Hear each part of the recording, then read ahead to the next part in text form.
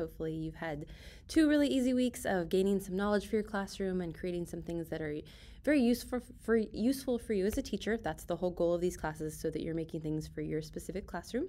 Um, we have two um, two projects for this week, and I wanted to kind of go over um, them with you a little bit so that you had some information before you got started.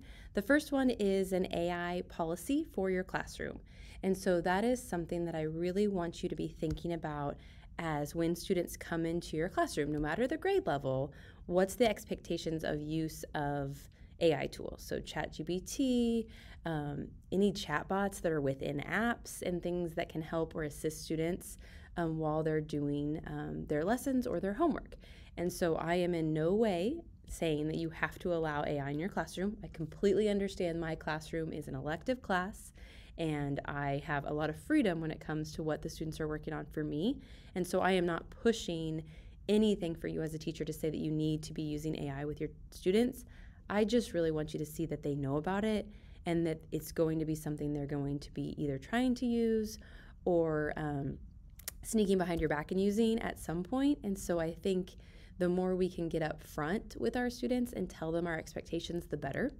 And so, one of your assignments is going to be creating that policy, telling your students what is allowed and what is not allowed when it comes to using an AI tool. Maybe you're going to allow them to use it for brainstorming, but they cannot use it to write any type of sentence or paragraph for their paper.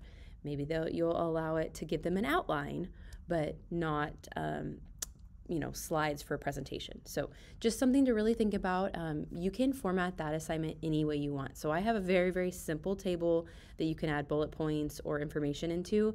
But if you want to create a graphic or a video or anything you are welcome to do that please be as creative as possible on that assignment or make something that's useful for your class. If that's a graphic that you can post on Google Classroom or a poster for your class, or just, you know, getting that information written down so you as a teacher know what your expectations are. So that's going to be one of your assignments for this week.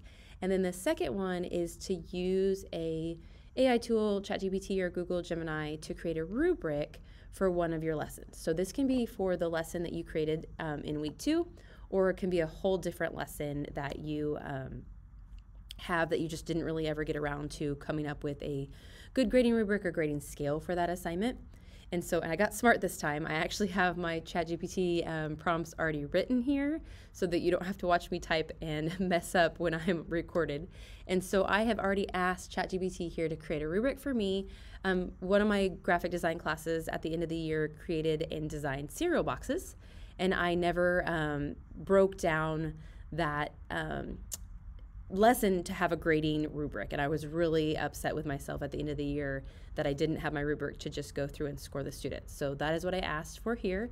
I told chatgpt that i was using photoshop or um, illustrator that i require one of the grading sections to be about work ethic and then i wanted the scores from to go to zero to five. And so that's what i had asked for. I thought i was being very specific and i didn't quite get what i wanted. And so i want you to know that you can continue asking ChatGPT questions or um, Google Gemini, and they will work off of the prompt before. So I got some great sections here. I got my, um, you know, different things that I can grade the students on as far as what um, different types. And I wouldn't have to pick all of these. I could use the ones that I want. I just don't like how it's formatted. I don't want to go and have to copy and paste this into a table. I want it to be a table for me. So I came down here and I said, make it only six sections because I thought that was too many. I want it to be worth 100 points and format it as a table. And so I just gave it some more specific things, and I still didn't get quite what I wanted here. Um, definitely gave me a table, but it changed the grading. I like when students know what to expect for a zero grade, a one grade, a two grade, and then you know what they would get for a perfect score on that section. I like it broken down into that. And so I was like, well, let's see if I can get there. And so I asked another question. I said, have the categories have columns with the descriptions of the type of grade levels exactly what I needed here. So I got my new rubric. Um, it breaks down all the categories that I want. It picked six good ones. Now I could easily swap these out. I will read through this and make sure that it is how I want these to be when it and, and I probably will put more specific things on there when it it talks about their cereal box but I didn't think that ChatGPT would be able to specifically do that for me. So I might come in here and have to change some of these up, but the formatting is exactly what I wanted. I have my work ethic um, grade in here, and then it even broke it down into like weights or how I could score each of these. So, you know, 20 points, you know, 20, 20, and 15, and it can give me the grade to be that 100 points. And so I really like that. And so just remember you can keep talking and adding to your prompts as you're working with an AI tool. Um, some article I read or somewhere they posted something that said you should ask prompts or write your prompts as you're talking to a human being. So no, I'm not no ethical discussions here at all.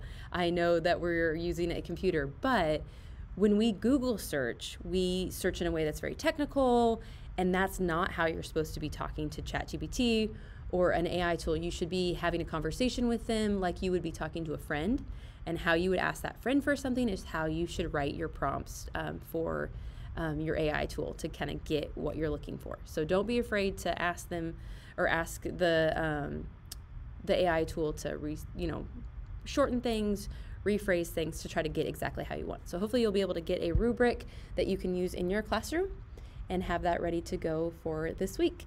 And then the last thing that I'll ask from you, if you don't mind, um, after week three, is if you could fill out the survey about the class so I know what was a good feature, what was something that I could have done differently.